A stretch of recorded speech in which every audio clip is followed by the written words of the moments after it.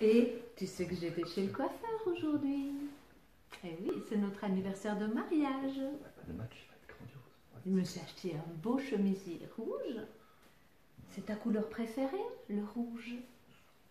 Puis après, ben, Oh, attends. après Ce que tu sais pas, c'est que été chez Beldona je me suis acheté des sous-vêtements rouges de fine dentelle. Et là, tu vas craquer, non? Écoute, euh, après dix ans, euh, la motivation n'y est plus. Hein je n'écoute même pas ce que je dis, donc. façon, Prendre un on bouquin. deux bouteilles. Je vais appeler Fabio après. Au moins, lui s'intéresse à moi, lui. Ouais, ok, ben, on est d'accord avec les, les deux bouteilles, puis je viens à 19h30 juste avant le match. Et puis, euh, ouais, pour l'apéro, bien sûr.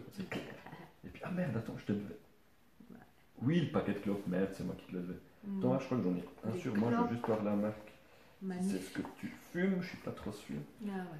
Des clopes. Ah putain.